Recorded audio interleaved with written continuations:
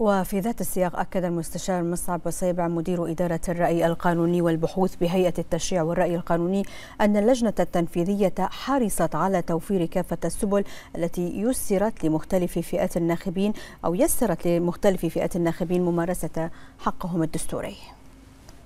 شاهدنا توافد كبير من كافة الفئات المجتمع من كبار المواطنين تواجد الشباب حضور مميز أيضا المرأة البحرينية من ذوي الهمم كلهم كانوا متواجدين لتأدية واجبهم الوطني وممارسة حقهم الدستوري. واللجنة التنفيذية حريصة دائما على توفير كافة إجراءات الإجراءات الميسرة لكافة الناخبين في الدائرة.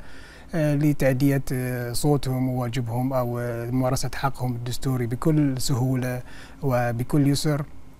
الأخوان من ذوي الهمم أو اخواننا من كبار المواطنين تم توفير لهم ممرات خاصة تم توفير لهم كبائن خاصة للتصويت لهم.